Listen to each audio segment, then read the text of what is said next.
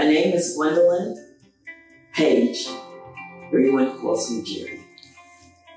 I just want to say I feel so blessed to have this opportunity. I've been a realtor for 47 years. I was a realtor in New York before I traveled to Hartford here, the Hartford area. Uh, I joined Person Person Real Estate. I believe it was 1979.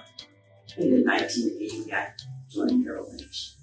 So I've been busy, a busybody. My name is Vincent Bish. I got into business um, in 1986 as a part-time person.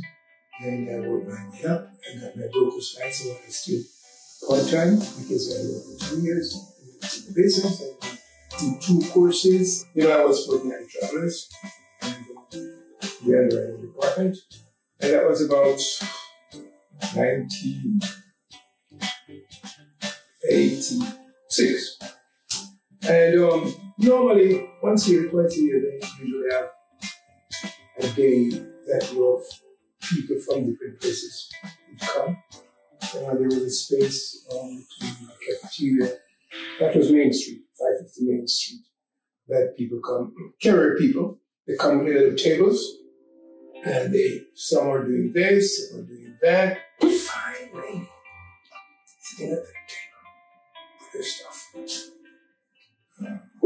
And if we go over there, check her out. When I went over there, she said, oh, look at your brochure thing. It's a real estate. I said, really? So we talking and she came I said, how long will it take me to be a realtor? Because time was my issue. And she said, um, as quick as you want. So really? So I collected the information and I went to it.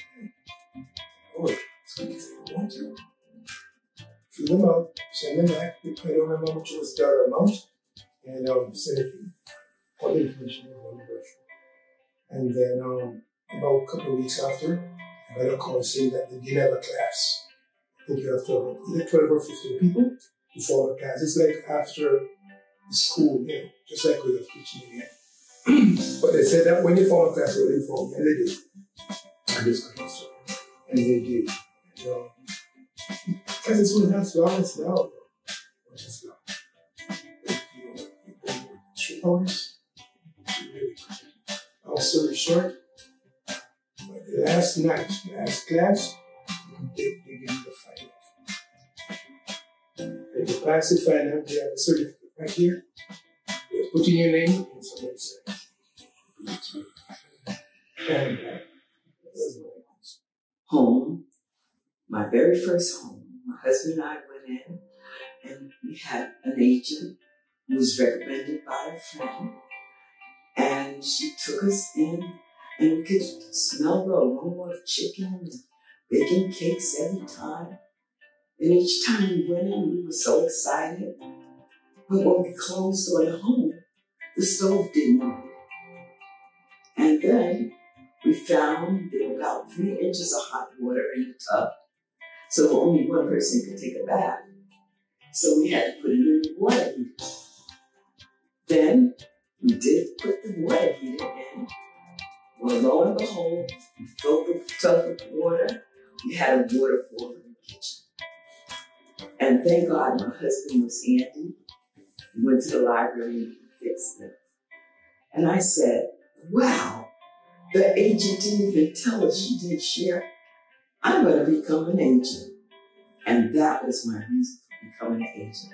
I felt the need that if I did, I would help people by being honest. My name is Keith Tinker. I got a license in 1972. I became a member of the Board of Realtors about 75. The Marcus Insurance Agency and, Kent, and the Shorts Real Estate was the corner of Kent Street and Albany Avenue. My uncle used to buy insurance during high school. And the day I was graduating, I sat there and Mr. Marcus' son was in the same high school class. Right? And they said to me, at that time, most of us graduated from school. Either go, if you didn't get into college, you'd go to, to the, you go to the service. It was compulsory draft. You went to the service. But most of my people went to Vietnam or Korean, Korean War before Vietnam War, where most of my graduating class would have gone to. But I got accepted to Hartford State Technical College. And um, at that time, minorities did not have a real estate license. I didn't even realize it at the time. I was talking to the Marcus uh, when Mr. Marcus, Slam Shores, handed me a book and said, go study for the real estate license right out of high school.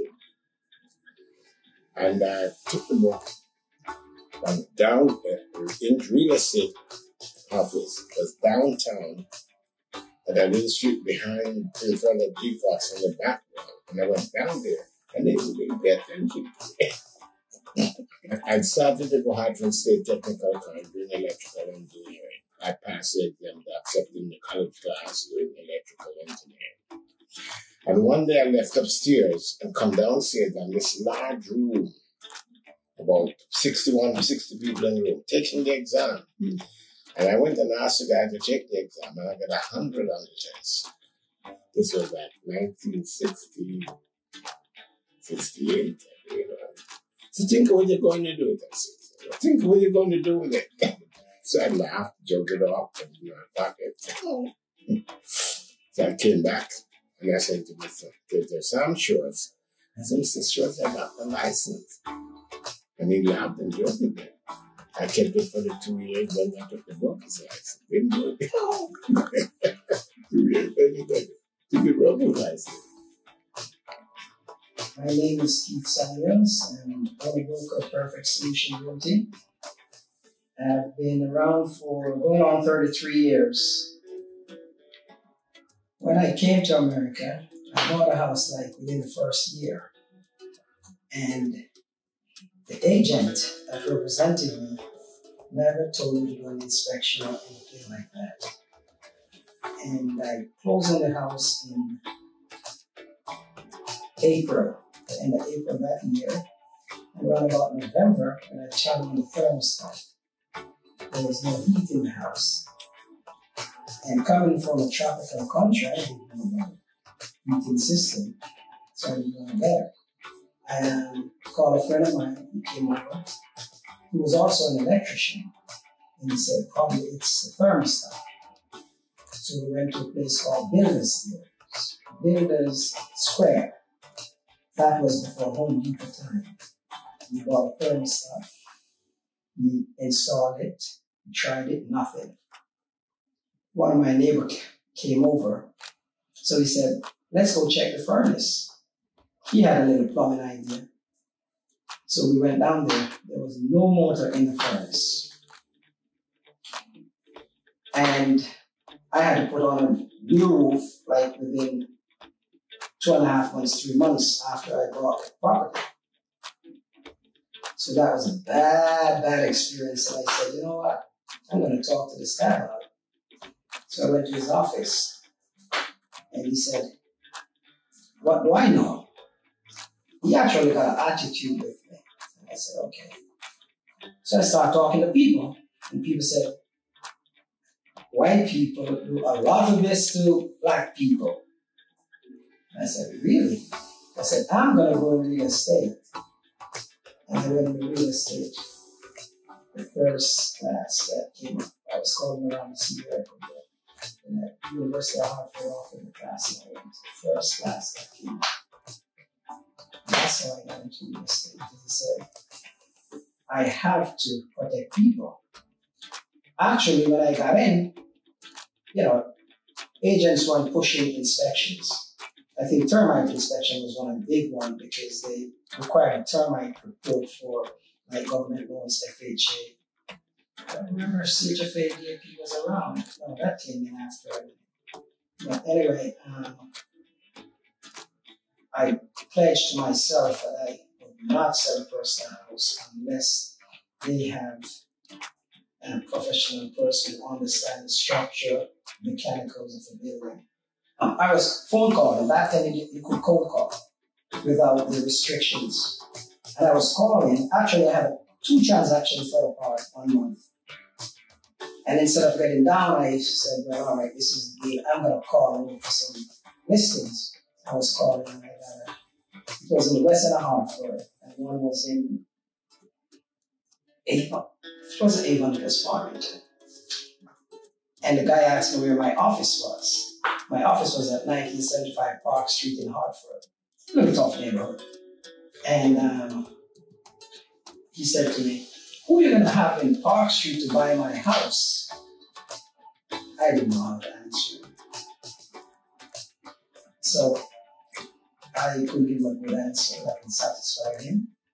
So he gave me a listing. And I said, I have to. I have to do better than this because I lost three listings. I remember the listing agreement was one page at a time. And in the west side of Hartford on Beacon Street, the lady asked me what line seven of the current listing agreement was, says. I didn't know. I said, How are you going to have me sign something that I don't know what it says? One thing I remembered, when I was here on Saturday, I'm going to do a call to guys saying want to do a listing with me for Kwani, big listing. And we had a kit that if you get a listing, these are the things that tape measure, this, this, this, so that it's called there. We start measure places, start sure. When we're done for the good time, for the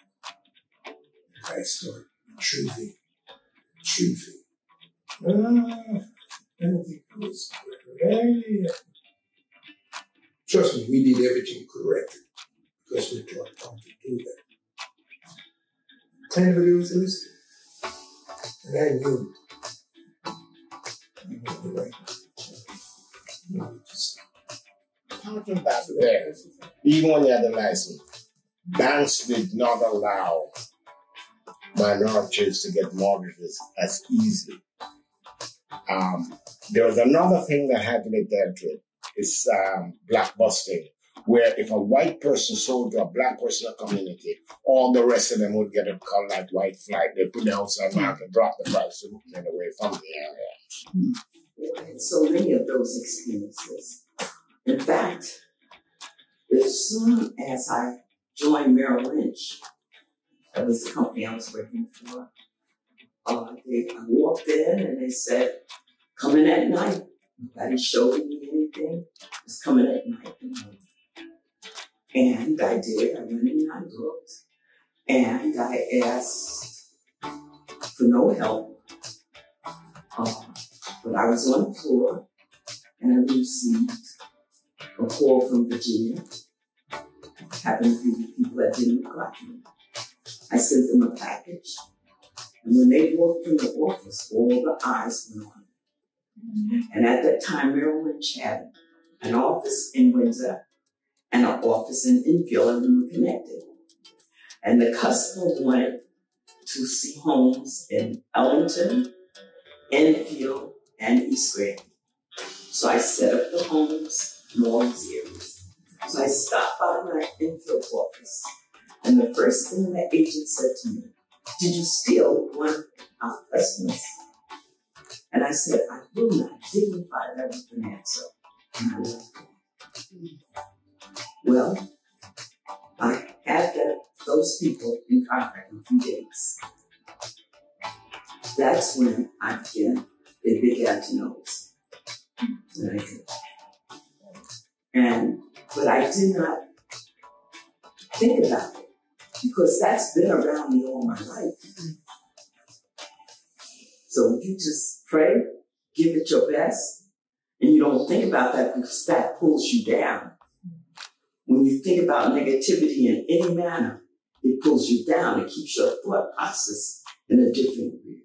So you keep your mind on your goal, and God will bring you. When I started as a tinker, we have the internet you could on the platform. They usually put was two big big books. I think I take up some every Friday or whatever it is they put a big book, big volume. and you would have to go in there, find your town, find whatever, and see if a listing or is there for your client.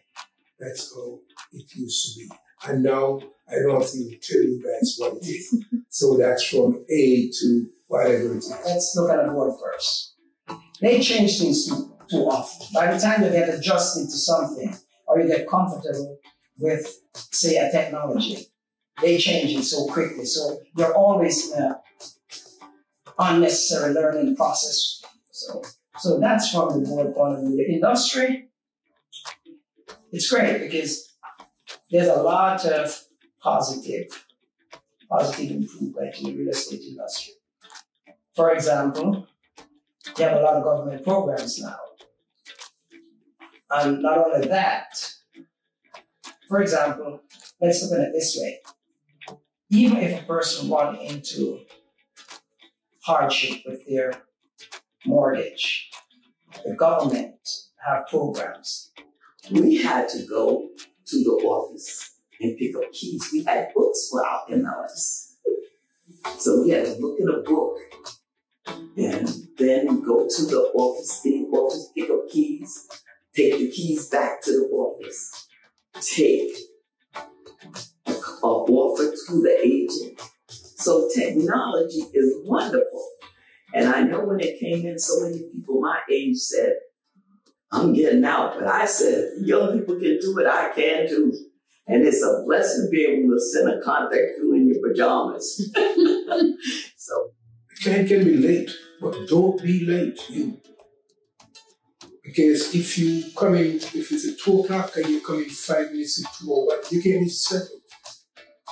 Agent might be, client might not say to you, wait, he or she knows when uh, rush off frustrated. But I do come in five, ten minutes before, keep it five. I you the truth. I've told you questions, key questions that I'm going to get um, with the clients. Uh, you know, after going through the ingredients and what's confident, then I go into that. And Lord we to teach them how to keep their credit good. Oh my God, that's very important. We tell stories of that for another day. But we do that. Never be late, whether in the office or in the field or whatever it is. And that's what I do, and I preach it. One I think, treat people well. Do unto others you will have them do unto you. Treat, don't ever misuse, oversell. Treat the clients as if though you, you would like to be treated. Not all of them are going to appreciate, but you do what you can. Let others do what they want. Job is to do the best job you can. Treat them the way you would like to be treated. Think the deal isn't good, tell them. And then what's good and bad about it. If you treat the client well, long after they have had the house, you don't remember them, they're going to tell somebody, go see this, I think I got me here. I hear it too many times, I never remember the face. The best advice I think I can give a, especially a new agent, is work on yourself. Work on your skills of handling objections. Agents have to develop a very high skill level to really do well in this business. Because, you know, 2% at the top agents make about 80% of the money in business. Are part time, yes. I know it's not easy for everybody to just jump culture, give up their livelihood to do it. You can. But if you're gonna be part time, you have to have a high level of time management skill. Hmm. Just don't tell them you're gonna call back and don't call back. You have to. Anything you say you're gonna do, you gotta do it. Because people are watching. My advice would be invest in your education. Know the market. It is so important to know the market. And don't worry about the fact that you're a minority. You're selling yourself. And people, when you're good, do not worry about what color you are. I I would say to them, just trust, trust God, get the knowledge you need, and work hard. You know, get the necessary tools that we have to work with because we have so many tools.